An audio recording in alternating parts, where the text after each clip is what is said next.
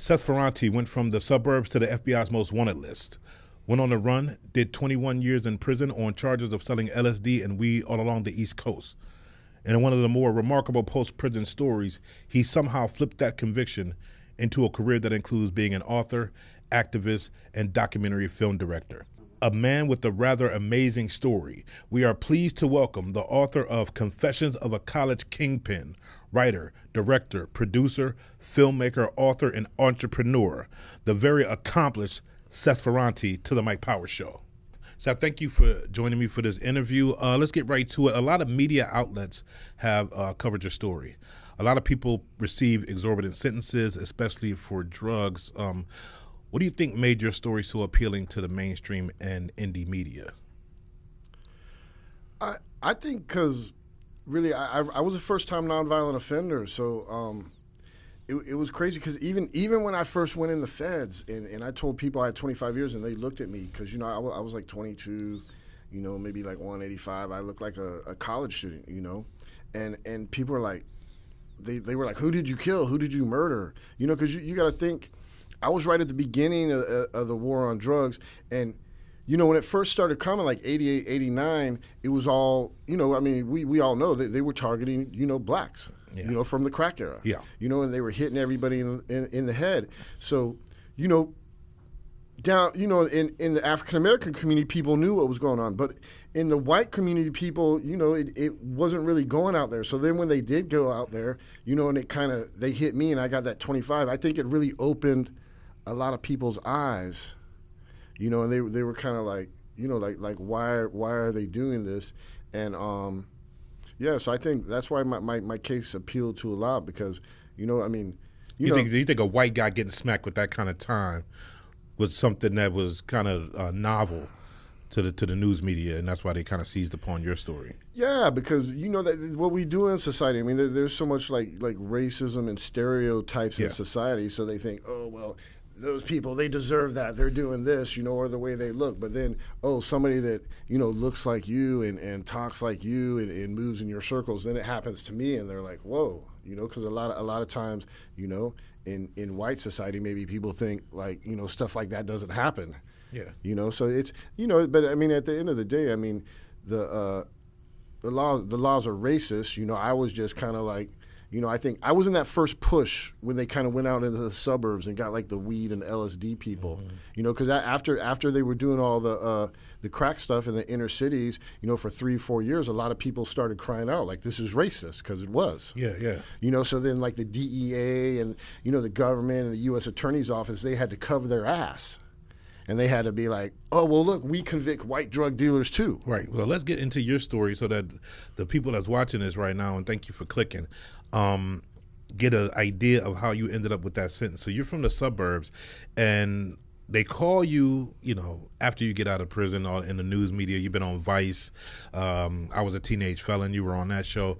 Uh, they, they call you somewhat of a kingpin. How'd you go from the suburbs to moving weed and LSD all along the East Coast? Yeah, well, basically, um, I grew up in California. I was a military brat you know, so so I moved I moved around a lot. You know, then when my dad retired, we ended up in Northern Virginia, which uh, you know, Northern Virginia, you know, it's it's, it's outside of Washington D.C. Yeah. and where I was, Fairfax County. Fairfax you County. know, it's a, a, a, lot of money. You know, it's like what they call like a lily white area. You know, at least back then, in the late '80s, '90s, mm-hmm. and um, and I was just, you know, I, I was like the, the, the quintessential California kid, you know, and I, I was on the East Coast, and you know, I had I had a lot of connections in California. You know, I, I, used to go watch the Grateful Dead. You know, so I had a lot of tech connections on Grateful Dead tour. And when when I first went out there, it was like at first, like we're going way back, like you know, ninth grade. You know, like 14, 15. You know, we were always like, you know, Cali, I could get whatever I wanted. You know, weed, you know, acid, you know, mushrooms because um, you know I'm, a, I'm like a cannabis and psychedelics dude. That's always been my uh, you know kind of mo, my forte. So when I went out there, like we're looking for stuff and we can't find stuff, or if we do find stuff, it's like garbage or it's like real super expensive. So once I found that out, and I, I, found out that a lot of those kids, they were like you know trust fund babies, or their parents had a you know they had big allowances, they had a lot of money. You know, I, I saw opportunity. I was like, well, look, I can just, I know people in Cali, I can get them to send it here. You know, I can get them to send weed. And you're how LSD. old at this time? like 15. 15. But then you ended up at all of these colleges, right? What, what were some of the colleges you visited? And Oh, like like Radford, Vir- Virginia Tech, you know, uh, University of Kentucky, you know, George George Mason, you know, all, all, all the colleges, you know, like like Maryland, you know, kind of in that in that tri-state area, Maryland, Virginia, you know, Kentucky, even like state co- like Pennsylvania. so what you do? You just hit. Do you just hit the campus and find out where a party is at, or you got to connect on No, campus? I mean, I, I went to school, so I went to Robinson High School in Fairfax. It was like a big school, like 4,000 people. And then we had like a sister school called Lake Braddock that wasn't even 10 miles away, and they had like 4,000 people. And it's all like rich white kids. So mm-hmm. as I was 15, 16, 17, still in high school, you know, I'm, I'm doing deals with all these people. You know, I'm selling weed, you know, whatever. I'm selling pounds, you know, I'm selling ounces. More like probably retail, though, at this time, you know, smaller stuff. So then as everybody starts going to college, you know, they they can't get you know the same quality or the same price when they're at college. So they're calling me. They're like, "Hey man, can you bring shit up? It's dry." Or "Hey man, we can't get no acid up here." Or "Hey, can you bring some mushrooms?" So then for me, you know, it was like it was like a business opportunity, you know, where I would go up there, you know. So that's that's what happened. I just had access to a lot of people, and they went to all these colleges scattered all around the East Now, Coast. were you were you college age at that point? You still in high school, but other people that went to college. Yeah, you know, like you know, like when you're when you know, I was always the type of dude. Like when I'm a sophomore, like I'm I'm hanging out with seniors. You know, I was mm-hmm. just always hanging out with people older than me. You know, sometimes like even you know five years older than me. Yeah. So I just you know I dated older girls. Mm-hmm. You know that was that was just a situation. So even though I was younger, I, I looked older and I acted older. So yeah, that's what I, I would just do. And then you know, I mean, my whole thing was probably like. I mean, 15, 16, 17, but it was, it was small. You know, I was just kind of still you- forming it. If you're doing all of these colleges, you're moving around. You need a network. You need a team. So how did you begin to build out that team? it was all friends that, that from my high school, man. Or I would go up and see them, and they might know like the local dude that's doing stuff. You know that they're buying weed off, so they would introduce me to him, and I would just come in as a supplier. But it's all it's all through my high school network. It's all through friends. You know, it's weird. A lot of dudes, um, almost you know, pretty much everybody on my case. Not everybody, but you know, the majority of the people on my case, I went to high school with. We were all high school friends. I mean, we were all like 18, 19, 20 when this case came down in, in, in 91 and, and we got indicted. And so, are you sending some of your friends? You sending them? You're staying home and sending them different places, or are you traveling with them? No, I would travel. I would travel. You know, I've always been, um, I've always been like a smuggler. I'm a smuggler, basically. You know what I'm saying? I was a dude. Like, I would go to Texas, pick up 50 pounds, pick up 100 pounds. You know, this is back in the days of the brick pot. You know, I would go down to Florida and pick up weed. You know, Fort Myers was a big weed port back then. You know, I would go to Kentucky and get the homegrown. I would go out to Northern Cali and get the homegrown. You know, like like the outdoor, the domestic. You know, and then, then I would get it, and I, I, I used to drive circuit, so I would go down 81. I would hit all the colleges. Then I would go into Kentucky through the Cumberland Gap, hit the Kentucky colleges. Then I would go up into West Virginia, Morgantown, West Virginia University was a really big market. That's a big party school. Then I would go down in Pennsylvania. I would hit State College. That's Penn State. Then Penn State has a whole bunch of satellite campuses. You know, like seven for the for the freshmen and sophomores. And a lot of my friends were there. I would hit all those. Then I would come back down through Maryland. You know, hit University of Maryland. I, I would come in. You know, D.C you know, and they got schools there, and then down down like George Mason was right there. So I would I would just do this circle. and you're dropping off pounds. Yeah, I'm dropping off pounds. I'm dropping off sheets of acid, picking up money, and most of my stuff too was I wasn't cash. I was front. You know, these are like my friends. These are like dudes I partied with.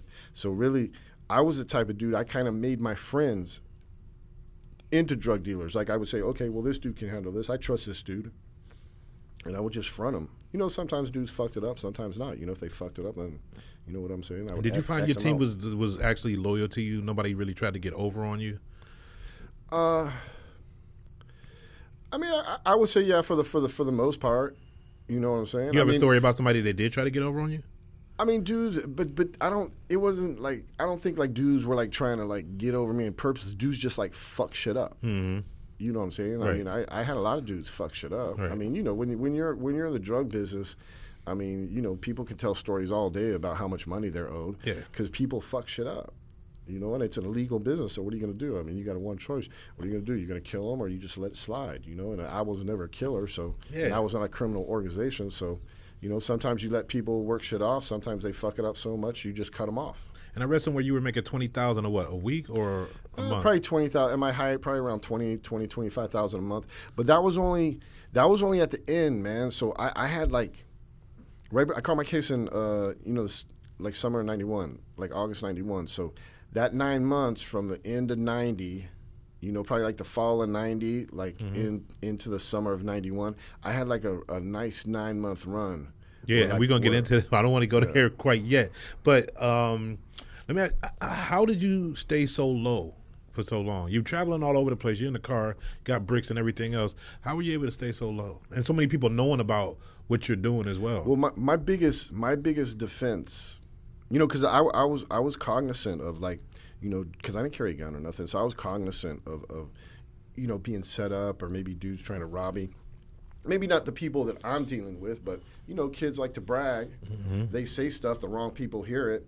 You know, they try to get, you know, they try to pinpoint like my movements or something through somebody else. So I was always cognizant of that. So what I used to do, you know, back then you didn't have cell phones. So I had like a 1 800 beeper.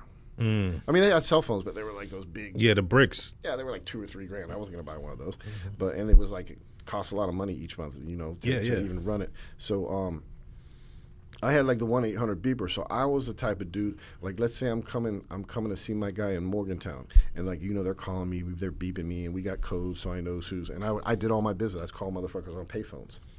You know, I just had payphones all the time, payphones and beepers. So the kids out there that don't know, there used to be phones outside attached to poles, and you would put change in it and actually call people. Yeah.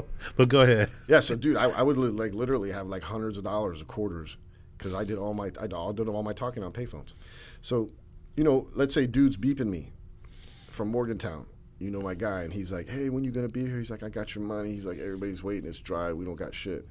And maybe I'm like an hour out of Morgantown, mm. but I don't tell them that. I'm like, "Oh man, I'll probably I'll probably be there, you know, tonight, or I'll be there in like you know five hours, or I'll be there in the morning." So I always used a lot of misdirection. Mm. That was kind of like my defense, mm-hmm. you know, from getting robbed or getting set up, or you know, from people, you know, set up by the police or set up by whoever. Right. So misdirection. I was a big misdirection dude. I was the type of dude like I'd say I'm not going to be there, and then I would just show up. And a lot of these places too, like I, I would have like a room, you know, because dudes have these party houses, and I might I might chip in on the rent. You know, and, and, and I might have a room, I might have a place. So I had keys to places, so I could come in, and, you know, and whoever was there, if they saw me, they saw me. But if they weren't, you know, if they were out partying or doing this or in class or whatever, they didn't see me, and then they'd come home and I'd be on the couch, you know, taking bong hits. So you're you're moving around in the car up and down the East Coast. Um, what's your soundtrack? What, are you listening to at that time? Yeah, I, I used to I used to listen to a lot of uh, a lot of Grateful Dead. Mm-hmm. You know, like the the live tapes. Yeah, yeah, So so and and back then too, like we're talking cassettes. mm, yeah, You know. yeah, yeah. I don't even think CDs were just starting then, so I was still like I had you know I had like the little box in my car with all the cassettes. Yeah. So I listened to a lot of Dead, but um, then too you know I'm pretty uh, eclectic in in my musical taste. I like I like everything. Mm-hmm. You know, so I, I would listen to a lot of hip hop. You know, like like a lot of NWA, like Yeah. like 80s, 80s. Yeah. You know, East Coast hip hop. Yeah. You know, I, I like the hip hop back then because I was more into like the uh, like they call it like almost alternative hip hop. Yeah, yeah. You know, not like today. Yeah. The, the hip hop's way different. Back then, it was like, it was like more spiritual, more uh, positive. You know, a lot of, a Yeah. lot, especially the hip hop coming out of the East Coast, like New York and yeah, stuff. yeah, yeah. You know what I'm saying? It was it was it was it was more lyrical. Well, now there's a lyrical resurgence going on. There's a lot of street stuff going on in terms of the lyrical resurgence, but it's it's, it's high quality poetry at the same time. Mm. I think when we when we scrunch our face up when we talk about certain rap music, it's the the um, auto tune laden type stuff Yeah, we're talking, yeah, yeah, and the mumble rap. They're not really saying nothing. So I, I do sympathize with you on that. And what were you doing with the money? Man, I was I was spending it, bro. I, spend, I used to spend money like crazy. You know, I, I was a dude like let's say we're out partying like a group of people, and then you know like at the end of the night, you know a lot of people like to go to Denny's or something. You know, I would take, dude, I would take the whole party because you know some people like, oh, we don't have money. I was I'd take like twenty people to Denny's. Mm. You know, and we would we would go on whole court, and I, I would pay cash. You know, so I just did a lot of stuff like that. I did, uh, I think at one time, dude, probably before I got busted, like in '91, dude, I probably had like I don't know. I probably had like 150 pair of fucking like high tops. You know, mostly Air Jordans, but other stuff. Mm-hmm. You know, so I used to buy, and I, I was the type of dude too, dude. Like, I would buy shirts, like polos. Like polos were real back then. I'd buy polos, dude. I would wear that shit like once, take the tag off. You know, I always want to do fresh shit, dude. That's just, you know, I'd give that shit to my to my boys, to my homies. You know, I wear that shit once, and I'd be like. "Pff." Yeah. You, what, what type of car? I always I had Subarus, man. So I had because I was a smuggler, bro. So, you know, back back then they, they had those Subaru four wheel drive turbo station wagons, Yeah. and like on the on the side it said like four wheel drive turbo. yeah. Yeah. So I had three of those, Oh wow. Okay. Yeah, at- you and I would switch them, and I would switch them, Oh okay. All right. so people never knew. But they were all they were all those same Subarus. yeah. You had a good warranty on the Subarus and everything like. Yeah, I, I guess. I, mean, I, I used to put a lot of miles, man. I used to put a lot of miles, but I, I would switch them out, you know. So I, I would always have like a different color car and stuff. Okay, so at, at a certain point, and we know this is a, a big part of your story, you went on the run and you faked your own death. Okay, what precipitated you having to go on the run in the first place? Well, because I got busted, they were trying to give me twenty to life. Oh, so you had gotten arrested, what you got out on bond, Yeah, yeah, I was out on bond. and then you just took off from there. yeah, they took off. Okay, and when did you get the idea that I'm gonna fake my own death? Well, I was I was always been a big sports fan, right? So you know, I was in Northern Virginia, so like our paper is the Washington Post, and so you know, I would always get the newspaper every day. Boom, I go right to the sports section. Right before the sports section is the Metro section. Mm-hmm. So sometimes, you know, I, I would read like the Metro headlines, you know, for a second, something might catch my eye. And people were always committing suicide at this national park called Great Falls. Because, right, they, they got it's, it's the Potomac River goes through Great Falls, and it's like, uh, there's like some areas where it's like class five rapids, you know, and it's it's like all different like rocks and really and, and people would jump in there because if you don't get you either you're gonna get smashed against the rocks or you're gonna drown because you can't swim. Yeah. So I, I remembered like when this case came about and I was looking for an escape route because you know when when I caught that Fed case, dude, I, I had a couple options, right? Go to trial, which you know not very many people go to trial against the feds. They got like a 99.5 conviction rate, right? Plead guilty, you know, or or cooperate. You know what I'm saying? I, I- didn't want to face trial because you know I, who knows how much I would have got 20 to life. You know, um, I didn't want to cooperate.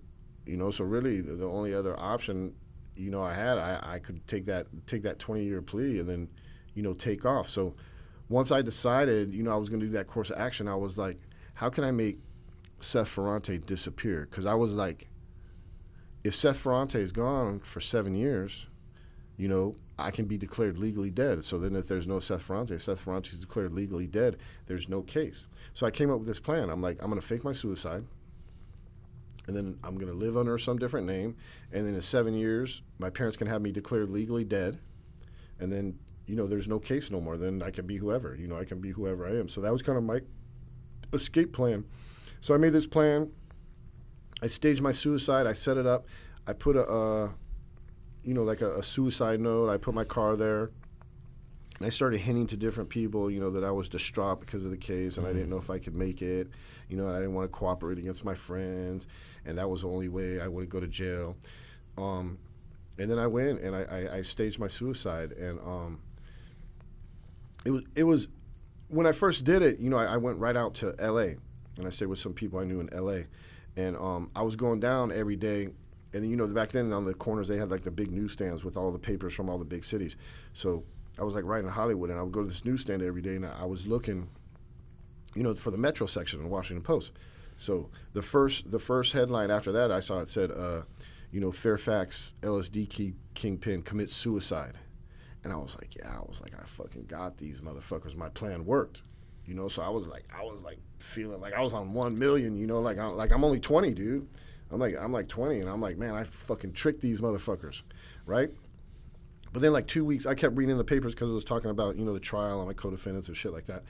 And then like two weeks later, I, I saw the headline, and it was like, it was like uh, you know prosecutors uh, call suicide a hoax, right? And I was like, fuck. I was like, well, you know, I was like crushed, man. I was like, you know, all this planning I did, and now they're saying it's a hoax. So I started reading it, and then I found out why. I started reading it because um, I staged my suicide on the wrong side of the dam. You know, so the Potomac River goes out to the Atlantic Ocean. That's what I thought my body would, you know, Right. wash out to the Atlantic Ocean. They can never find me.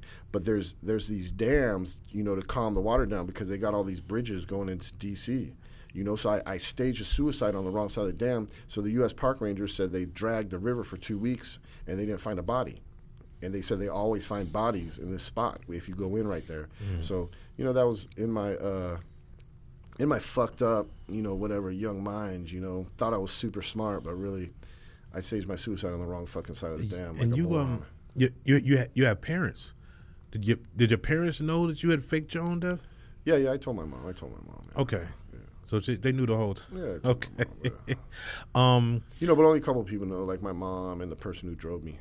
All right. So take me to the moment where you actually get discovered by authorities again. How did you get caught? Well, eventually, I, I made my way back to Texas. You know, because I, I had a lot of uh, weed contacts in Texas. You know, like like Mexicans in Dallas.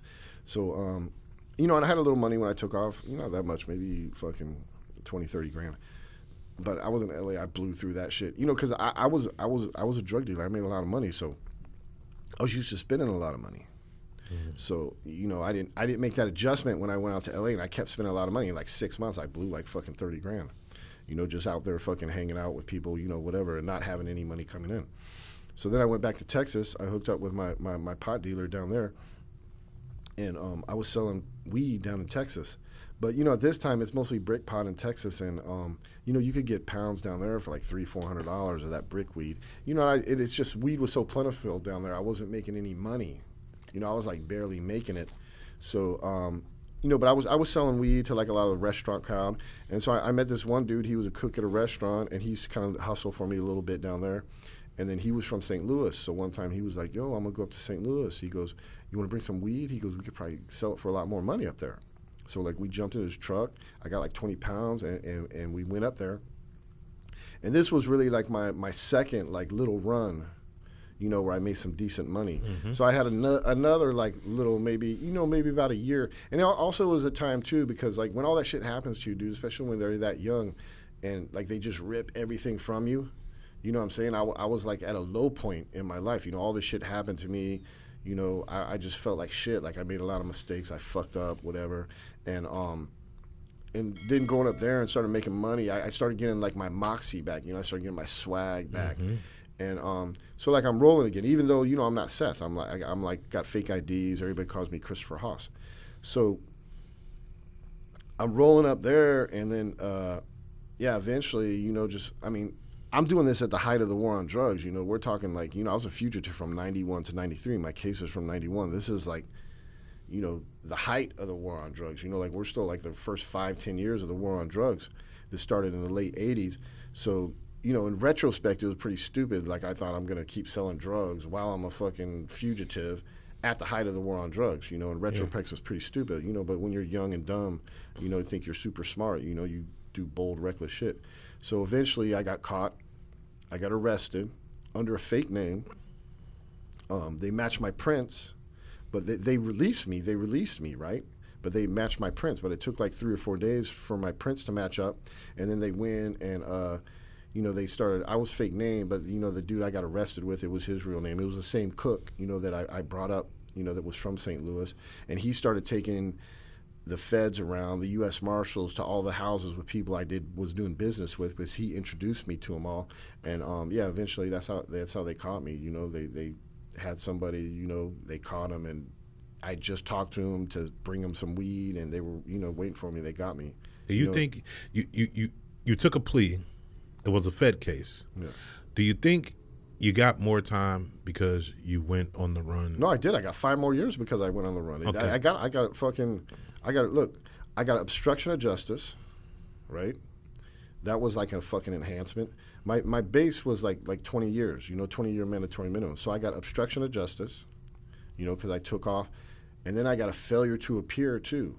So I got I got like five extra years for running. How do you get your mind to a place that you can stand in front of a judge, plead guilty, knowing that you're accepting 21 years or 25 years? Well, I mean, at the time, I didn't think that because I was just pleading guilty, so I could fucking get out and take the fuck off. you didn't know you was about to get football numbers? I knew, but I thought I was smart enough to take off, and, and they would never find me. bro. Oh, yeah. okay. So this is. Yeah. That, I'm trying to figure this out. You get convicted, and then you're. No, I pled guilty. I was never sentenced. Oh, okay, okay. Yeah, yeah, yeah. Because so they didn't remand you immediately. No, no, uh, uh, uh. Wow. Because I know if it's me. Yeah, yeah. well, that's that racism, bro. yeah. So, so look, so look, I was a white kid from a good family, from a rich area, and they, they probably because of dudes like me running, they they're not letting dudes like me out anymore. You know, but this is right at the beginning, bro. Yeah. So you know they were still like, you know, and plus. They wanted me to cooperate, bro. So they were like, you Yeah. know, dude, like my own lawyers, like back then in the feds, like even your lawyers are trying to fucking sell you out. So that's the whole time you know, my lawyers are saying cooperate, cooperate, cooperate. You know what I'm saying? But Mm-hmm. I'm like, man, I'm like fucking, I'm like, well, whatever, we'll see. But, But the whole time in my mind, I'm I'm just making my escape plan. So they want your plug. Yeah, they want me to bring people. They want me to set people up. That's how the feds do. you Yeah, know? yeah. Feds climb up motherfuckers like a ladder. Yeah. Um, uh, just switching lanes just a little bit. It's a lot going on with the. You might have heard about this Young Thug, the YSL Rico case. Yeah, yeah. Um, one of his partners, Gunna, free, said he didn't snitch. You have any thoughts about that whole affair? Um, not, Well, I mean, the, the paperwork doesn't lie. Look, in prison, Mm-hmm. you can't say nobody's a snitch, bro, unless you got paperwork. Right? Mm-hmm. In the streets, motherfuckers can say anything. Mm-hmm. They can say anything, bro. It's speculation, gossip. So I'm saying, in, unless you can't say nobody's a snitch unless you got the paperwork, man. Mhm. But you know, in prison, if you put a bone on someone like you're a snitch, and there you don't got the paperwork, you're gonna get hit. Yeah, yeah. But on the street, motherfuckers can say whatever they want on the street, bro. And see, I don't know a lot about the inner workings of this particular case, but when you get brought in on a RICO, a whole group of people, especially all black people, Yeah, yeah. one of those guys is looking at football numbers, but all of a sudden he's free. Yeah, yeah. You know what I mean? He's saying he didn't stitch. I don't know what he did, right? But Yeah, but the paperwork doesn't lie. right, right. So, like I say, if there's paperwork, it's eventually going to come out. If these, his co-defendants have a trial and he testifies, that's paperwork. Everybody's going to know. That's in the court transcript. Mm-hmm. You can't hide that. That's public record. yeah, So, Um, li- like I say, I mean, you know, you could say it's questionable, yeah, but until the motherfucker's on the stand or until he's setting up, Right. You know what I'm saying? Because look, dude, you ain't you're not going to be on no Fed case and, and you're going to work it off as a confidential informant. You're going to have to testify, bro. mm, You know what I'm saying? yeah, yeah. You're going to have to testify. And if you are a CI, you know, it's, it's going to come out in, in, in someone's case. You know what I'm saying? I mean, they protect their CIs, but, you know. So I always say, I, I always say, like, you know, the paperwork doesn't lie. That's black and white, you know, until you, you get to that stage. But, you know, the, the, the feds, too, man, the feds do all types of stuff. I mean, they hide people in witness protection program. You know, they protect people. If somebody's working for them, you know, like, they'll protect him forever and, and, and hide him and he might not even get his case settled for like four or five years because he's working for him so you know who knows if it's something like that but you know until until you got the paperwork i mean you can't really say i mean you can suspect I know in some prison systems, uh, like maybe in the Midwest, people go to prison. You got to make meals out of commissary, right? And uh, like in Ohio, they might call them breaks, right? What do they call them in California? Oh well I, was, well I was locked up You was where? i was locked up all on the east coast yeah but they call them spreads yeah. Call, that's what they call them on the East Coast. They call them spreads, spreads. What was one of your favorites? oh shit like a nacho box Nacho box. Yeah, so we, we would get we would get like a box, you know, like a uh, you know, you get a box and they like like cut it down, so it's just basically like a tray. Mm-hmm. You know, and then we put some like some plastic down, and then we put some chips, and then we mix the chips too. Put like some Doritos and some fucking Tostitos, whatever we get from the commissary, Mm-hmm. And then summer sausage. You know, uh, cheese. You know, if we if you get it from the kitchen, you know, get some like tomatoes, green peppers, onions. You know, like some refried beans, and then basically you would cook all that shit in the microwave and then just pour it over the chips. You know, and it would just be like a like a tray with nachos. Yeah. So, And who was putting money on your books? oh, my parents. Yeah, my Okay, so they looked yeah, out for yeah, you. parents That's dope. So you didn't have to really rely on the, the what was going on in the chow hall. nah. I dude, I have like. uh I had like I had like dudes would bring me shit from the kid. I had like dudes on retainers, you know. I, I would send dudes like 100, 200 bucks a month to bring me shit. That's Not- the other thing. You you you're a hustler. You're you're a natural born hustler. You get into the joint, everybody needs a hustle. So what was Yeah, your hustle yeah, yeah. inside? Well, I, I started when I first got in there. I started working in um like recreation because I, I was always a big sport dude. I played tons of sports. I was like the white dude out there running full court with the black dudes. Mm-hmm. You know what I'm saying? Like Yeah. sometimes the only one, Yeah. right? I, I, I played all soccer with the Mexicans, you're in Jamaicans and stuff like that, Colombians, you know, and then uh, so I was big sports. So I worked in recreation, and um, at first I was my job was like I was keeping the stats. Mm. You know, I was like the statistician for Yeah. like the softball games, the basketball games, whatever. And then I would do the stats and I would put up the stats. I would compile the stats and I would post them up on the board so you could see who's the batting leaders, you know, high rebound leaders, stuff like that. And then some dudes that had been in longer than me, they kept coming up to me, right? And they would be like, uh, they'll be like, dude, like, uh, why don't you do like a, a newsletter, a newspaper? And I'd be like, what do you mean? And they would show me, you know, like some from the, you know, like from Terre Haute or some different places they were at in Atlanta, and they're just like little write-ups. So then I started doing, I started doing these little write-ups, right? Like kind of like little sports newsletters. So once I started doing that, I got, we're in prison, like I would get a higher grade. You know, I got where, like in prison they pay you like grade five, is maybe like 525 a month and then like grade one you can maybe make like 100 bucks a month so first i got myself up to like a grade one just writing these newsletters so i was getting paid like 100 bucks a month so so that was like how i made money but then another way um, i was taking college classes when i went in there right in college classes so i was always in the uh, law library typing Mm-hmm. up my college papers and so dudes you know i know all these dudes from playing sports like black spanish whatever white so dudes would always see there, and like when you file any type of administrative remedy in there, you know, any type of grievance against the institution, Mm-hmm. you know, this is like this is not legal work to the court. This is like legal work like in the joint. So you get it has to be typed up. You can't write it. Like they give you these little forms, and you got to. So dudes would see me typing, and they know me, so they'd be like, "Yo, can you type this up for me?" So I started doing it for free for people at first, but then I started seeing like like th- they'd be filing and they the way they're arguing i'm like dude this this is like bullshit dude i'm like you got to readjust your argument you ain't gonna win shit with this so then i got where i would start looking up policy you mm. know and, and regulations and so then you know i started i started doing it and and within a couple years like i got so good that I got a reputation. So then, like everybody was coming to me because I was getting people good time back. I was getting people's visits back. I was getting people their commissary and, and, and phone, you know, privileges. Your back. hustle was actually helping your fellow inmate. Yeah, and then then so then I got to the point, dude, where like, if you want to talk to me about, you got to bring three books of stamps. You know what I'm saying? Because cause I want a whole bunch of people's shit, get their shit back. You know, or got people transferred, or got people in different programs. You know, so I got really good at that. So um, yeah, so I, I so I was in the law library, not like a jailhouse lawyer, because I'm not doing outside cases, but for stuff inside. You know, so that was really, you know, my, my kind of first hustle. You know, and I brought in here and there. I would bring in a little weed every now and then, you know, like through the visiting room. You know, I did that a little, but mostly to smoke. You know, because I've always been a stoner. But then, eventually, from that writing stuff, you know, writing the newsletters and then writing like the, the legal type work, and then I kept taking college courses, and it was all like writing heavy courses because I was doing correspondence courses. Then I started writing articles. First, my, the big thing I first started writing, I was writing like about prison life. I was writing about prison basketball, and I started uh, I started trying to get published like by outside sources, you know, and, and, and I started like I started writing for these different magazines. I started and then eventually I started writing like gangster stories, like of dudes I was locked up with. So I started writing for Vice. I had a column for Vice. By the end of the '90s, I had a column for Vice called "I'm Busted." While you're still incarcerated. Yeah, called I'm Busted, where I would just write like about prison life. You know, I was doing uh, like interviews, gangster stories, you know, about street legends, you know, for like Don and Feds. Mm-hmm. And I was doing prison basketball stuff for this website called HoopsHype, which is now like part of USA Today or something. So you know. when you write when when you write for something like Don Diva, because I, I know there's you know a lot of people have been incarcerated. They may not know which steps to take to get to the place where you got to.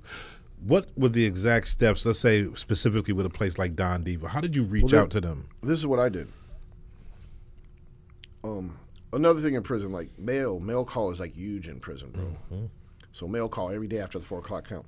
So, you know, my, my, my parents are middle class, upper middle class. So, I had like thirty magazines. I used to get the, like the newspapers, and I had like thirty magazine subscriptions. So when I started writing, what I would do, you know, this was still like the print magazines.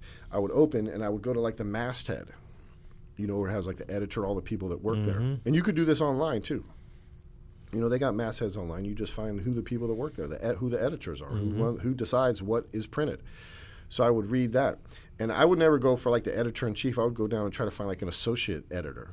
You know, someone that might have the time to read what I'm saying, and then I would write them letters, dude, like snail mail. Mm. So that's how I started my whole writing career. I would say, oh, you know, I see the magazines. Like I didn't know Don Diva magazine. Some other dudes had. Dudes from New York had it. You know, and I saw it laying around, and I looked at it, and I was like, hey, you know, I got the idea.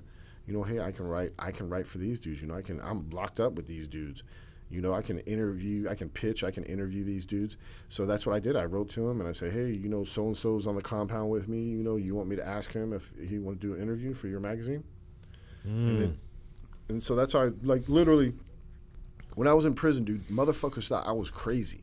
Because I would have like a stack of fucking envelopes and letters to mail out. And it's all like query letters, bro. It's all query letters. Mhm. Trying to get myself, you know, like like like pitching articles. Yeah. So and I and dudes would, dudes would see me walk and I dude I would have like a hundred envelopes. And dudes would be like, "What the fuck, dude? Or, like you're fucking insane." Like the guards and the prisoners. But that's what I was doing, dude. I dude, I probably sent out ten thousand fucking letters, if not more. And that's a I think that's a valuable lesson. Let me just I just want to not to cut you off. But Jordan talks about this or talked about this back in the day is that how he, he was getting so good in the off season. And he would say, you know, when all of my teammates, all these other players, they out in the club, they're kicking and everything, I'm in the gym. You know what I mean? And so people looking at you like you crazy. The the the convicts, the COs, you got got this. Th- he's crazy, right? But it's that thing, right? It's that thing that nobody else is doing, right? Because if it was easy, everybody be doing it. But it's that thing that made you stand out, and it's the thing that brought you that will be, turn out to be your ultimate success. I mean, you in the joint, right? You're reading Don Diva with your byline inside the joint. Yeah, yeah, yeah. That must have been. That must have gave you some sort of. Oh, dude, no, it, it, it was tremendous, man. Just like, just like the self worth. Because I mean, when, when you go to prison, okay, boom, I'm a drug dealer, I'm a drug kingpin, I'm whatever. You know, I mean, I, I- think of myself more as an activist these days, or you know, outlaw. I always tell people I was never a criminal. I was an outlaw. I broke laws that I thought were wrong. You know, I was an activist. I believe in in cannabis and LSD that people should have it, but you know, then when when you're in there, like they strip that all away from you. Like you go in the feds, bro. Like it don't matter how much money you have. You everybody's wearing khakis. It doesn't matter who the fuck you are. Everybody got gray sweats. You know, it doesn't matter if you're fucking caked up. Everybody got the same fucking shoes that they sell in commissary, right? So they strip all that away from you. You know, and then, and then like you have all these, you know, like opinions or, you know, self images, and, and they just like take that away. Like you're not that anymore. You know, so then like I had to reinvent myself. Like who the fuck am I? Like what am I about? You know, yeah, I thought I was this dude. I thought I was this fucking counterculture outlaw activist, but they fucking gave me 25 years and fucking threw me in here and took all that away from me. So I had to do like a lot of self-examination and, and, and reinvent myself. And even though I, you know, I still am that guy today. I'm that outlaw, you know, counterculture activist. But you know, I, I had to question because those actions led to me getting 25 years. And even though I, I still believe it was wrong and I never should have had to do 25 years, that's what happened. So, you know, you got to question yourself like, was I misguided? You know, was I right? Do I got to go a different direction? So I turned to education in prison. I turned to writing. You know, I stayed out of the drama. I didn't join no gangs. I didn't have no, you know, geographical affiliations. I wasn't like in there, like in the mix. Mm-hmm. You know, I didn't get involved in the prison politics. You know, I played sports, I worked out, and I stayed in the law library. Staying out the way is what they call Yeah. it. Yeah. And um, besides being arrested, what was the most tense filled day you had when you were hustling, if you can remember that? I'd say w- w- probably, you know, I, I had this girlfriend. I had this girlfriend.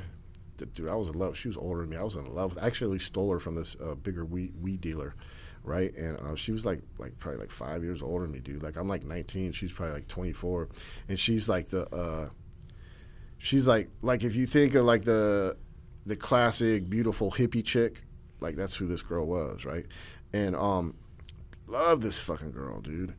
And uh, you know, right before I got busted, kind of at the end, as our relationship deteriorated, she got, she got um, addicted to heroin. Mm. Actually, through through one of my co-defendants. You know, one of my co-defendants. You know, she was she she actually brought it to me one time, and she had got some heroin from one of my co-defendants, and because he was he was like a heroin addict, and she wanted me to smoke it with her. And I'm like, man, I knew my friend. I'm like, I'm not I'm not doing that shit. Look at this fucking dude. I'm not like I'm not doing no fucking heroin. Like, oh, you got me fucked up. But she wanted to try it, so I'm like, I won't ever try it. So she went from that straight to banging out needles, and um, yeah, I remember that. That was like a that was like a heartbreak. That was like a real tense situation. So it was like I had that fucking breakup because I basically told her, I'm like, it's the fucking heroin or it's me. Mm. And she chose the fucking heroin, dude. And and she's fucking. I'm still in contact with her today, but uh, she went, dude. She was like fucked up. Like she's clean now, but dude, she had like a like a 30, 35 year fucking battle with heroin mm. that started right then, mm. and that was like the. Uh, that was like the fucking like I was distraught, like I was like suicidal, I was like heartbreak. So I had that, and then right after that, like I caught my case, dude. It was like fucking crazy.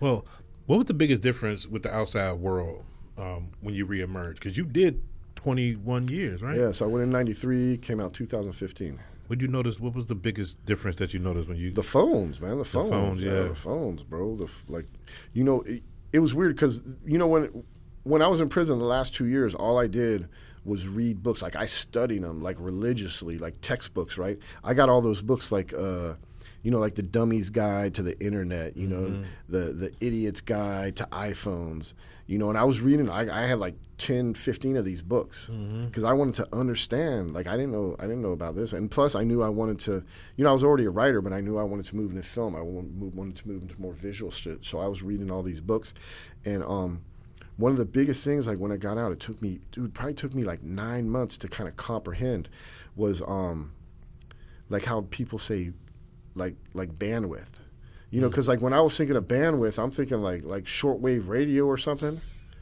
You know, I'm, I'm from the fucking '80s, bro. Like they're talking about bandwidth. I'm like, I'm like, what are you talking about? Shortwave fucking radio. So I didn't understand that concept, how yeah. people were using it. And the other thing I didn't understand, I didn't understand the difference between cellular and Wi-Fi.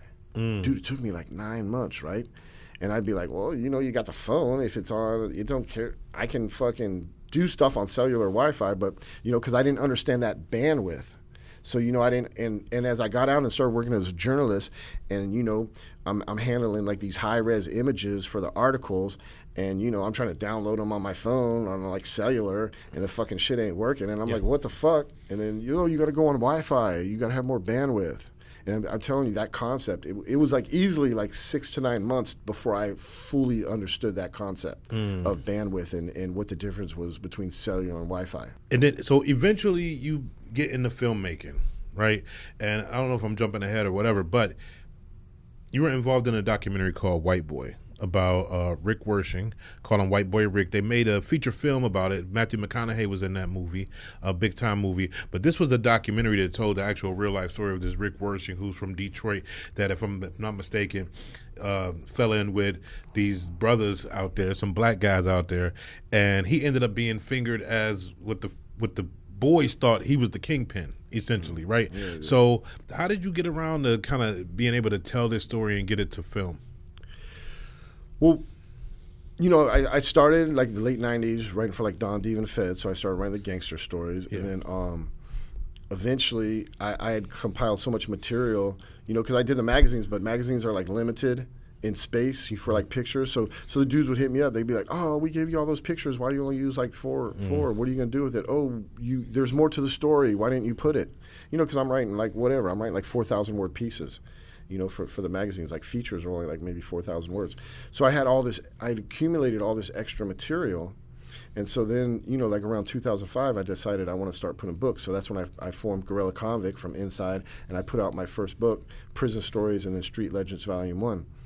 And so you know, I'm, I'm doing all this stuff, and and I I'll admit when I first started writing, I was uh, I was kind of taking because this was like gangster rap too, like the mid '90s. You yeah. know, kind of yeah. opened up all these doors where, where people would talk about this stuff. Because you know, a, a, lot of stuff, you know, from the inner cities or the hood, you know, people didn't talk about it. Because if you talked about it, you know, stuff that happened in the street or prison, you were a snitch. Mm-hmm. You know, you'd bearing a stitch. But then you know, gangster rap comes along and they're all rapping and you know about all this stuff. You know, like all the you know 50 Cent and Nas about the hood legends, mm-hmm. the street legends, the people they grew up, you know, admiring and I was locked up with these dudes, you know. So that's when, you know, I was like, man, I was like, I can I can start doing this, and I started putting out the books, and um, once I start putting out the books, you know, it's just uh, then people are like almost bringing me stories. And when I first heard about Rick, I was in Beckley, West Virginia, like '96 to '99, and um, you know, and, and and like I said, I haven't even written. I'm just formulating these ideas in this mind. Like '96 to '99, I'm still like formulating. Like I want to be a writer. I didn't really start writing until the end of the '90s and into the 2000s. My first book didn't come out till 2005,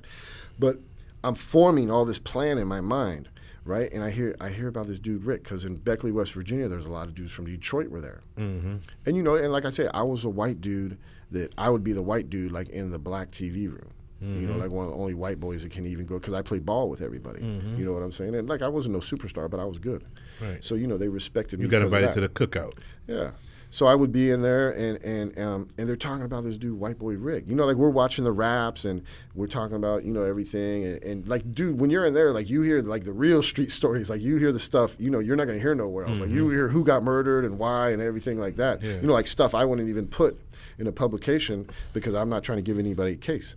But I started hearing about this dude, and, and I felt a lot of similarities with him because you know he was a he was a white dude, you know that was in the African American community, you know on the street, you know, and, and got a lot of time at a young age, and and I was a white dude that got a lot of time, and you know I I hung out with a lot of black dudes in prison, so you know we had these similarities. So um, but at that time he was still in witness protection program, and and um. I wanted to write about him, but I couldn't. I couldn't find him because he was in witness protection program. So, but I kept that in the back. I kind of filed it in the back of my mind. I was like, man, I want to fucking talk to this dude. I want to interview him. You know, I want to write about him. And um, then, like around 2005, I was I was working on this Fat Cat book. You know about Fat Cat, Pappy Mason, and um, I was reading Fat Cat had caught this uh, like car theft ring charge, like from prison, in the witness protection program. And one of the people on the case was White Boy Rick. And I read it said they both got kicked out of the witness protection program and sent back to like their states. So Fat Cat obviously got back sent back to the New York system. Rick got sent back to Detroit, you know, or to the Michigan system. So then now I can find him because now you know he's not in witness protection. So I started writing him, and even when Rick first started writing me, dude, because I was still at this point, I'm still doing like the the the uh, you know the wild wild west. You know, like I'm romanticizing all this gangster stuff. You know, I'm mm-hmm. glamorizing it. You know, I'm I'm making everybody out to be like you know Billy the Kid, Jesse mm-hmm. James. You know, Yeah. that was kind of my thing because I was writing for my audience. My audience was the people in prison. Mm-hmm. You know, I'm, I'm I'm happy that people in the outside world liked it, but I was writing for my peers. You know, I live in here. I live inside the belly of the beast. These are my peers. So this is who this is my audience. So first, Rick started writing me, man, and like the stuff he was telling me, it just, it just wasn't. You know, I want to romanticize him. I want to make him into this Billy the Kid type figure, and he's telling me about like all this injustice and, you know, and and working for the cops and being an informant and, and you know even at a young age but but at first i'm like whoa you know you're like you're in prison you don't want nothing i, I, don't, I don't fuck with no snitches Right, right. you know, I'm not trying to get branded snitch. You know, it's like, you know, so it took me a while, but I, I was still writing him because I was always trying to convince him, like, I want to write about you like this. But he's like, no, I want to get out of prison. You got to write about me like this. He goes, this is bullshit. He goes, I got fucked over. You know, so. And The then, people but, that don't know, he was an informant. yeah, yeah, yeah. Okay. But but you know, he basically got pimped out by the cops when he was like 15, bro. So, you know, as I got older and I started seeing like the injustices of the drug war, you know, um, and I guess as I matured, my writing changed. So I went from like glamorizing, you know, these guys in, in a lot of my early work to I went to more writing about like the victims of the drug war and the, the racial injustice and, and the vindictive prosecution and, and targeting African Americans and, and other minorities, you know, and the corruptness of the DEA and the drug war. So my writing changed Peeling back the layers now. where where I'm like exposing stuff, mm-hmm.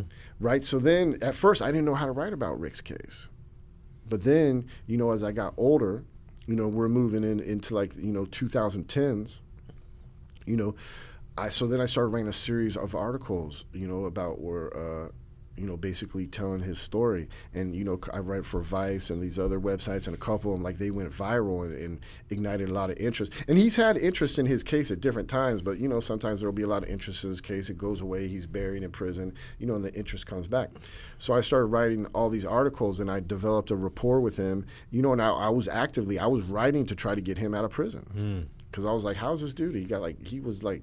He was like an informant, and he only got busted with eight ki- kilos of cocaine, and he got life. And to be and to be clear, the people who he used to rock with, the black people he used to rock with, they were advocates of him getting out. Yeah, they yeah, thought yeah, that he got way too much time for his involvement. Yeah. Yeah. You know, so and and then like his whole case, like it it's a lot of political corruption in his case. You know, in his case, you know, goes all the way up to you know Mayor Coleman Young, the longtime mayor Who was of, in the movie Detroit. Yeah. with uh, what was the movie? Forty Eight Hours. Was yeah, it? yeah, yeah, yeah. I don't know. Um, with Eddie Oh Murphy. yeah, yeah. Oh no, that was uh, Gil. That's Gil Hill. Okay. That was that was the, the one of the lead uh, homicide uh, homicide investigators. Yeah, he, worked was- under Mayor Coleman Young. Yeah, yeah, yeah. Yeah, Gil Hill. Uh huh. But um, yeah. So I I- just start my writing changed, you know, as I matured and and, and, and as I got older and um, yeah, and then eventually, you know, I I got out. 2015 and, and I was working as a journalist, you know, a national true crime journalist for Vice and, you know, writing about prison issues and, you know, sentencing disparity, like, you know, the, the crack cocaine disparity, which was like 100 to 1 at the time Yeah. and um, I was just writing about the disproportionate sentences and, and, and you know all this uh, you know racial injustice you know and writing about my case too because even my case I was like a first time nonviolent offender bro and I got 25 fucking years for mm-hmm. selling fucking weed and LSD which weed is now fucking legal and they're looking at LSD you know and psychedelics for all types of stuff so you know, I felt I felt persecuted against. So I could see how all these, you know, especially people of color, were they were getting persecuted. You know, way worse than me. Mm-hmm. You know, I mean, dudes in there for like, you know, five thousand dollars worth of rock, or you know, a couple thousand dollars worth of rock, and they got like twenty years. What makes a guy think that he can go from writing, from being incarcerated, to making a movie? Like you did you you didn't have a camera, did you? I'm not in pr- pr- prison. I mean, no. When you came out, when you're doing a white no, when I, when I when I first when I first got out. So when I first got out, like I, I got, you know, because my parents hit me off when I got out, you know. So I got I got like this, I got like a, uh, a Apple, you know, I got I got like a, uh, you know, a MacBook, but I got like the super one for editing, you know, and then then I got I got like a Canon, you know, like uh, I don't know what's it like the 5D, you know, Mark 5D, I don't know whatever it's called, but it, the, like the, the low end cinema Canon, and I, was- I was gonna do everything myself, right? And I, I was doing like little stuff. I was filming stuff, and I was trying to edit, but you know that shit was hard, man. You, you know you got to spend a lot of time to learn to do that shit, and uh, you know even like the camera stuff, I was learning, but you know, and but I was still writing. I was making my money writing as a journalist. incredible movie, and it's a documentary. It ends up on Netflix, right? Becomes this really big hit. It ended up on Starz. Yeah. Um, how did that change your life when that documentary came out? Well, really, when it first went in Starz and it first came out, um, it didn't really jump. I mean, it was out, you know, and we did help. You know, we, we helped to get Rick out, but you know, not the movie. I mean, the Hollywood movie, our movie, and you know, a lot of other people helped to activists helped to get Rick out. You know, it was like a big group effort. You Yeah. know, and we got him out. But um, it Starz. It, it didn't really.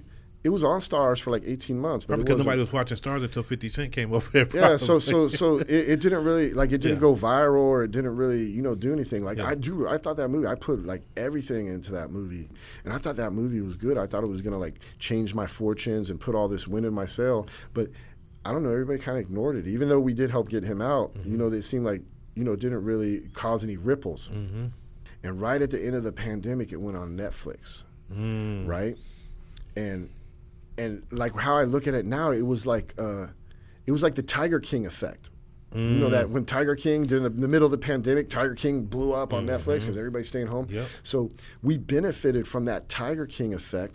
It went on Netflix. It was like top ten for like the first two weeks. You know, not top ten documentaries, like top ten everything for like two weeks. You know, and it, I don't know how many. You know, some people say I got like 20 million views in a couple months. I mean, I don't know. I don't know if Netflix releases that information or where that got. You know, but I've heard that number thrown around. It got like 20 million views in the first couple months it was on Netflix. So um, that's when shit changed for me. You know, because now I'm writer producer of a fucking top 10 Netflix, Netflix hit. So, you know, until then, nothing really changed for me. I had a bunch of ideas, stuff I did. You know, and Sean was doing his thing, and, you know, I'm trying to do my stuff, but I'm not really doing much because I, I don't have any money. Nobody's invested in me. I don't really have a track record. And but when that blew up, it put the spotlight on that movie. Then that's when you know investors came, started coming to me, and where they were like, "Well, what do you got?" But it, it took a long time, bro, because you didn't go on Netflix. The movie was almost out like three years before it went on Netflix. Mm you know but it was weird because of the pandemic and because it went on netflix and it's such a big platform. It yeah. was like it was brand new. Yeah. It was like it just came out. Yeah, yeah, so it was really weird because it was like and i felt like we were going to have that success right off the bat like one of our stars but nobody saw it. You know like you said nobody was watching Starz so we didn't have that success. So it was kind of a letdown. Mm-hmm. you know i'm on this big you know i'm on this big project that costs a lot of money. I'm writer producer and then it was like boom nothing happened. So it was almost like like a delayed gratification. But then you know, like you look at stuff too, like in retrospect, like maybe it didn't hit that time because, you know, maybe I wasn't ready at that time. You know, the movie wasn't ready. Everybody involved wasn't ready. But I, I think also it's because during the pandemic when everything slowed down and and and uh, you know people started looking at the police police brutality and and the Black Lives movement you know kind of came to the forefront you know with the with the George Floyd stuff yeah, yeah. you know it made a lot of people think and it made a lot of people think like you know um, you know, there's a lot of corruption in law enforcement. So I think when we first put the movie out before the pandemic, it's the hustle and bustle, you know, the capitalism, everybody's moving nobody thinks that that shit happened. You know, oh yeah, we're saying that happened, but they're like, oh, this is America, that shit doesn't happen. But then after the pandemic and Trump being president, you know, so much stuff was like exposed where now we it's on Netflix and, and people have had a little break and had time to think and, and get away from the, the rat race that people are ready to go down these rabbit holes that we're showing in this movie. They're ready to believe this stuff. Yeah. So it's it's all it's like life. It's all timing, man. So you know. Yeah. But yeah, I, I yeah, because I've been on a wave. You know, since that movie went on, you know, I've been on a wave. Like I got uh, I got eight projects in production right now with Outlaw Films. Mm. You know, that's my studio. Yeah. Um, I got two ready that you know are, are going to come out you know, probably uh, this spring. And White Boy is gonna, I think, it might be coming back to Netflix. It's going back on Netflix February okay, February fifteenth. It's go going check back. that out February fifteenth. I don't know when this video is going to come out. It might come out after that. Go check out White Boy. It's a great documentary. But talk to me about this project. I don't know if I can even talk about this. Dope Men, the first drug cartel.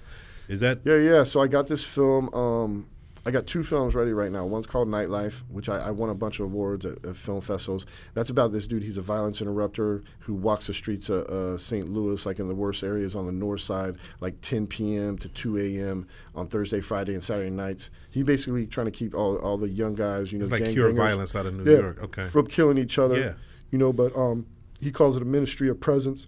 So that's one. I filmed him, followed him for two years. Dope Men Dope Men is about um, America's first drug cartel, you know, because we like to talk about. We like to talk. See, this this is the the whole thing, like what white America does, right? Mm-hmm. White America, they you know, like for the drug cartel, they want to talk about like the Colombians or the Mexicans, like they invented these cartels. Yeah. yeah. No, dude, the, the Italian mafia was the first drug cartel. They've been the big, most longest running drug cartel. They started in the 20s before prohibition ended. Because you know it's all these famous mobsters like that people know like lucky luciano you know what i'm saying? Arnold rothstein you know meyer lansky you know jack legs diamond you know all these dudes that have gone down in gangster lore you know as gangsters. Really these dudes were, were drug dealers because in pro- prohibition you know they were pushing the alcohol but they knew that prohibition was going to end. So before prohibition ended they were already looking you know because prohibition these dudes before pro before prohibition, these gangsters were just like corner thugs, bro. They didn't have no organization because they right. didn't have no money, right? They were just like thugs, you know, like like regulating the local neighborhood. But then prohibition gave them money and made them the international players, and they started developing all the international trade routes that would eventually be used for drugs. You know, because they were bringing in alcohol from Europe, Canada. So you know, they developed all this stuff, and so you know, they were looking for what can we replace this money with, you know, because once they got the money, they got the power. They had the politicians in their pocket. They can do whatever the fuck they want. So they wanted to keep the money going. So that's when they started bringing in heroin, you know, Lucky Luciano, Arnold Rothstein, you know, and, and, and really the, you know, in my opinion, I mean, some people might argue with me, but in my opinion, heroin is what made the the mafia into the power you know that they were you know for 40 50 years. I mean i think probably the 80s and 90s their their, their power kind of went down. But you know at one time dude like the 50s 60s 70s dude the fucking mafia was one of the most powerful fucking organizations in the united states if not the world. Mm-hmm. you know they had the politicians they had everybody. You know the, you know all the labor unions you know the rackets you know they controlled everything dude. I mean look they had to go to lucky luciano in world war ii to control because Lucky Luciano controlled the docks. So in World War II, when they when the U.S. military wanted to do stuff, they had to go to Lucky Luciano to, to for the docks, man. Mm. That's how much power they. The military's like, you know, they let Lucky Luciano was in prison. They let him out because he fucking gave him access to the docks. Wow. You know what I'm saying? But so that's what this movie is about. It it it shows you know how all these you know mythical gangsters of you know mafia lore you know form this drug cartel but what it also shows is people like to say like Richard Nixon, you know, started the drug war like in in the 1970s. That's like this common misconception. Nah, bro. They formed the Bureau of Narcotics, which is the predecessor to the DEA. They formed that before prohibition even ended because there were all these failed prohibition agents that they didn't have a future because mm. that's what they did. They chased bad guys for alcohol. Prohibition's in it. They don't have a job no more. So now alcohol is now legal, and these guys that was meant to go out there and enforce during prohibition, they don't have a job. So they needed to create another war in order yeah. to keep these men employed. Is that what I'm yeah, saying? Yeah. So okay. so so so really, everything. Like it's it's weird when you look at. There's this dude named Harry Anslinger. He was like the dude, the Bureau of Narcotics. He was like the the uh, you know like the head you know top narcotics dude, right? And and all these things that he formed like in the late 20s and 30s are like still practiced today dude look this dude was racist mm-hmm. right this is a dude uh you know the jazz singer Billie Holiday. There's a movie about it. I saw the movie. There's a movie. This dude was chasing Billie Holiday, bro. Mm-hmm. She was a drug addict, and mm-hmm. this dude was hounding her, trying to bust her. Mm. This dude, fucking Harry Anslinger, because he was so. That's racist. where I know the name from. Yeah. yeah and, and look, he hated Italians. Mm-hmm. You know, so he was after all the Italians. You know, and and so all these racist drug war views were this dude is the one that started it all, right? So when I look at it, right, I see like it's this hundred year battle that started like you know in the 20s, 1930s when they formed the Bureau of Narcotics. So you got you know you got the cops here, and you got the dope men here, you know, even the, the dope men have changed. The dope men have changed from Italians, you know, to, to Colombians, to Mexicans, even like in the African American communities, like yeah. in the 70s, you had all the big heroin guys like Nicky Barnes, you know, Frank Lucas, you know. So you have all these different dope men. The dope men have always changed, but the government people have always stayed the same. You know, they changed, but it's always been like the Bureau of Narcotics, and then they changed, you know, to the DEA. So really, this drug war, dude, has been going on forever. And when you look at, at the root of it, it goes all the way back to like 1920s. The drug war is racist, right? It's it, it's about money and control, you know, and it, so it's just been going on. It's like this hundred year battle. So that's what that's what this first dope man is. The dope this. I want to do dope man like like I want to keep it going on as a series. So this is basically like the volume one. Like this is how it starts. Right, I can appreciate you putting the focus on where you say um, the um, the first kind of cartels were that they, that they don't look like black and brown people that you know it's something that maybe black and brown people have uh, benefited from. A, a, lot of them going to jail or being killed behind it as well but it didn't start with the black and brown people is i think the point that you're making and i can appreciate you saying that um, no dude look if you look dude look i'm telling you this stuff is so it's so thought out right on on on like on the government side. Because look dude if you look look at old pictures of black people, dude. Like from the 50s, even into the 60s. Look how they dressed, right? It wasn't to the 70s, dude, when they pumped all the heroin. They pumped all the heroin into the black communities to destroy them, bro. Mm-hmm. You know what I'm saying? And the same thing happened in the 80s with the crack, am I right? Yeah, yeah. Right. right. But look, look at old pictures, dude, from the 50s. Like, look, 20s, 30s, 40s, 50s.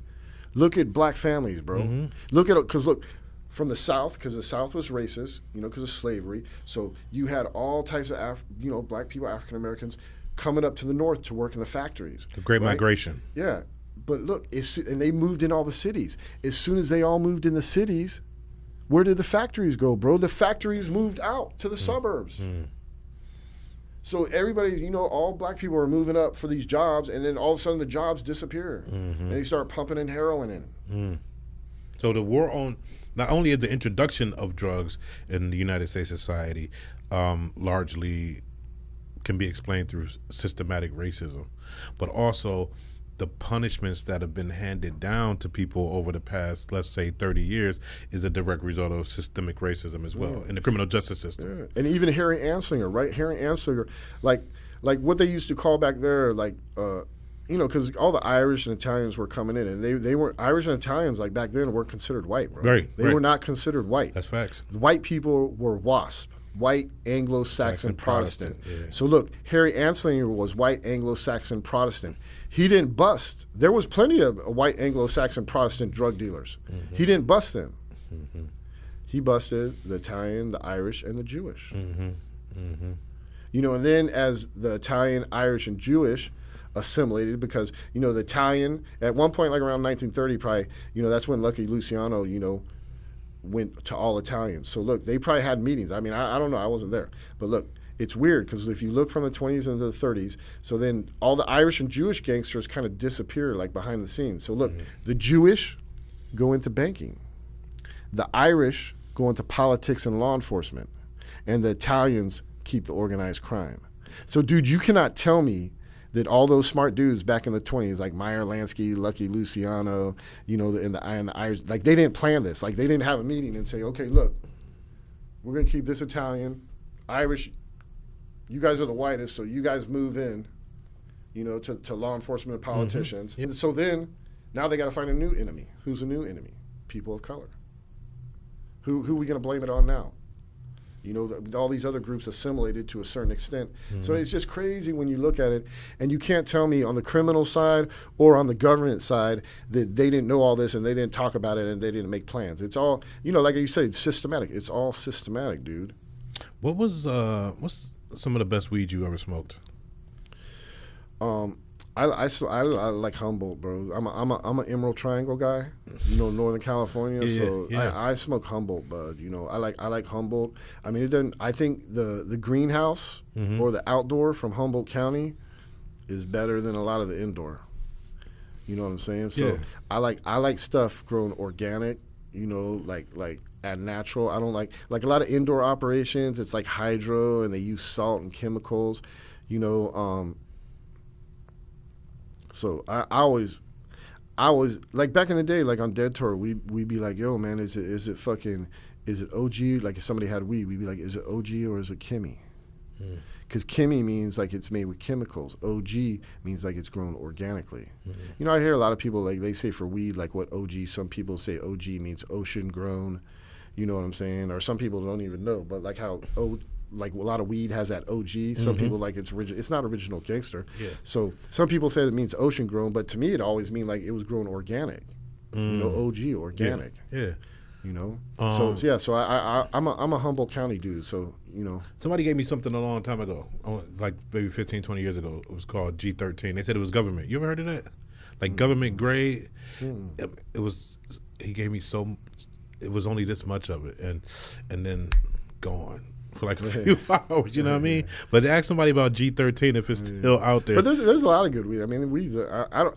I mean, I, I prefer, like I say, I don't. I don't like that shit that puts you in the couch. yeah, yeah. You know what I'm saying? I Yeah. mean, it looks pretty, smells nice, but you know, I, I like I like that su- super terpy, you know, greenhouse. Like they call it the entourage effect. Yeah. Yeah. You know what I'm saying? And Yeah. that's like that, that's what I get from the, the Humboldt County stuff. Is it good to smoke so much good stuff, or should we be smoking more trash? I had a conversation with somebody last week, and they said, you know, and I always kind of thought this, like, if you always smoking the good stuff, then you always need to get better and better stuff. is more expensive in order to get you to where you need to get. If you may be messing around with a little bit of trash, Or you could just dab. oh, okay. Just dab. See, I keep I, people talk about dab all the time, and I confess I don't know anything about No, I like I like hash rosin. Hash rosin is nice, but um, yeah, I don't I, I don't know. I, I like I said I, I prefer like I prefer like a good uh you know like nice weed, but I don't I don't need like that thirty percent THC. That shit. Right. know. I'd I'd rather I'd rather smoke like the twenty percent THC that's like super terpy. You know, has that really good taste. I'm a sativa guy anyhow. I like like some nice sour diesels, blue dream, shit like that. Let me ask you this: If there's a lesson to be learned from the story that is your life, what would that lesson be? Um, I would say, you know, don't give up. Be relentless, man. Don't let people pigeonhole you. You know, a lot, of times in life, you know, it, it, could be our family members, it could be our parents, it could be our relatives, it could be schools. Like they tell you just because who you are or where you're from or what happened to you or what color you are or how you dress, people say, oh, you can't do this. You can't. Dude, in, in prison, man, they told me, oh, you can't do this. You can't do this. You can't be a writer. The cops told me and the prisoners told me. They're like, you can't do this. But I always did you know, I was like, no, I can do this. So I think if you believe in something and you want to do something, just persevere, man, because because you can do it. You know, maybe you know, maybe like like I'm 52, so you know, I, I can't be unreasonable and be like, oh, I'm going to go be an NBA player. You know, that's not realistic. Mm-hmm. But you know, as long as you have realistic goals, you can achieve them. You just have to put the work and the effort in. And so many people get discouraged, man. Think, I mean, everybody knows people like they try something once or twice and it doesn't work, or they try something for six months and it doesn't work. No, man, you got to do it. If you want to do something, man, do it for three to five years. Give yourself a chance to learn whatever you're doing, to learn your craft, to build your business, to build your reputation, to build your skills. I believe, you know, to a certain extent, people can do whatever they want to do if you put the time in. Mm-hmm. You know, but you got to want it. You got to grab it. You got to get it. Nobody's going to give you nothing. Nobody's going to put you on. You got to put yourself on. You know what I'm saying? So my, my biggest like I don't think I'm the best writer. I don't think I'm the best filmmaker. I don't think I'm the best anything. But you know what I'm the best at? I'm the best at being relentless. I don't give up. Right? If I try if I try this door and this door's closed, I'm gonna try 19 other doors. I'm gonna try 20 different angles to try to get where I'm trying to go. So that that's that's that's my best advice to anybody, man. Don't let anybody tell you you can't do nothing, and be relentless in, in, in you know achieving and and going about to gaining your goals. You moved LSD before. You ever did LSD? Yeah, I do LSD all the time. Oh, still now? Yeah. Okay. Um, the first time you did it, what was that like? Um, I've never done it.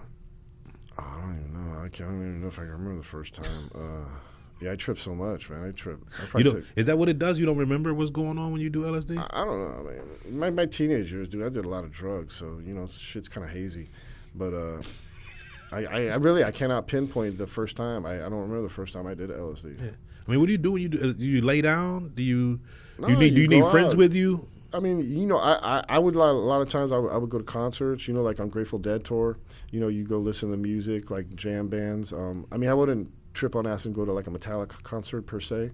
You know, but to go to like a Grateful De- Dead or festival like that with jam bands, that's cool. But um, I like to go out in nature you know, like camping, you know, hiking, you know, go out to lakes. Um, but really, my, my favorite thing, like, I, I just like, I like to trip, man. Trip with my girl, man. You know what I'm saying? Just like hang out with my girl and trip. You know? I, like I say, I, uh, I, I, I, went, I, I went with my girl to like like Disneyland uh, last summer, and um, yeah, we were tripping at Disneyland with her kids. Uh, I, let me.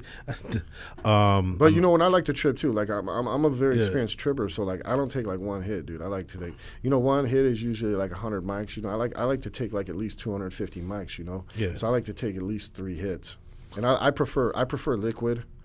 I don't. I'll take the blotter, but you know, I, I, prefer the liquid. It's just you know, I like to get my brain like I say. I like I want my brain to be on fire. You know what I'm saying? I don't. Like when I trip, I want my brain to be on fire. No, it's, it's like stimulating, dude. To me, it's like uh, to me, it's like a reset, bro. Because like think in life, right? You got most people we got blinders on, trying to get what we want, or or you know we're just we're doing what we do. We stay in our lane. We got blinders on. So when you take LSD, bro, it like takes those blinders off, bro, and you can like reset your brain. You can like recalibrate you know. But obviously, like I'm not gonna, I wouldn't tell you like go take fucking three hits of fucking acid for your first time. Yeah, but dude, take take like half a hit, man. Take like twenty, take like a quarter hit, take like half a hit, take like twenty five. Most hits are like hundred mics. So take like 25, 50 mics. Take a quarter hit, take a half hit, see how you feel. Or take some mushrooms because mushrooms are, are a little bit more mild than LSD. You know, unless you take a lot. You know, if you eat about five grams of mushrooms, you're probably gonna trip pretty hard. And um, what advice, finally, what advice would you give to somebody uh, who is on the run? Oh, nowadays, man, shit, just hide. Because nowadays you got so many cameras and everything. Look, no social media, no cell phone. Get a burner phone. You know, turn that GPS off. You know what I'm saying? And and don't talk to anybody that you knew before.